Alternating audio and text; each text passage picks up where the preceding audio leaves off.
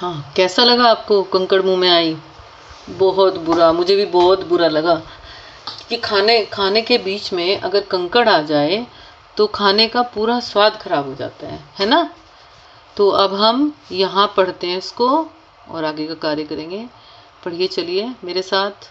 आपका ये साथ साथ आपका ये पढ़ने का अभ्यास भी, पठन अभ्यास भी होते रहना चाहिए। क्योंकि परीक्षा में जब प्रश्न आते हैं, फिर अगर सही से नहीं पढ़ पाते तो उत्तर भी सही नहीं नहीं लिख पाते हैं। तो इसलिए बेटा, पढ़ने का अभ्यास आपको रोज़ करना है, प्रतिदिन, चाहे वो आपका कोई भी विषय हो। चलिए पढ़िए। नीचे कुछ फलों के नाम दिए गए हैं। इन फलों से हम चटपटी चाट बना सकते हैं।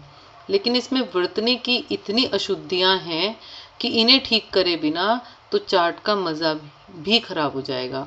आइए इन अशुद्धियों को दूर करते हुए फलों का प्रयोग से मज़ेदार चाट बनाते हुए उसका मज़ा लें। हाँ ये क्या हुआ भाई? ये तो सारे इसमें फलों के नाम गलत लिखे हुए हैं। वाह, ये क्या है? सैप। सैप तो कुछ होता ही नहीं। देखिए गलत है तो यहाँ हमें क्या करना है? क्या लिखना है? सेब।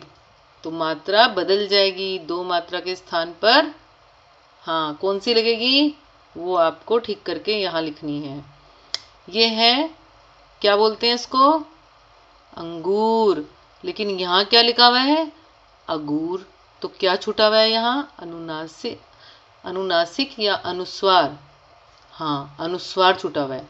तो किस पर लगेगा? वो भी आपको यहाँ लिखना है।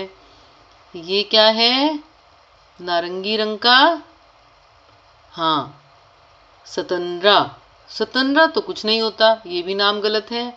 तो यहाँ क्या लिखेंगे हम? संतरा, वो भी आपको सही लिखना है। तरबुज तरबुज भी गलत लिखा हुआ है, ये भी सही करिए। पपीता, कैला, खरबूजा, अनानस, ये सारे नाम गलत हैं। जैसे तरबुज की जगह तरबूज, पपीता की जगह पपीता। कैला की जगह केला, खरबूज, खरबूजा, अनानस, अनानास। ये सब सही करिए, उसके बाद फिर वापस आते हैं चाट बनाने के लिए। अब मैं आपको चाट बनाने की विधि बताऊँगी, आप मेरे साथ साथ अपनी चाट बनाते रहिएगा। ठीक?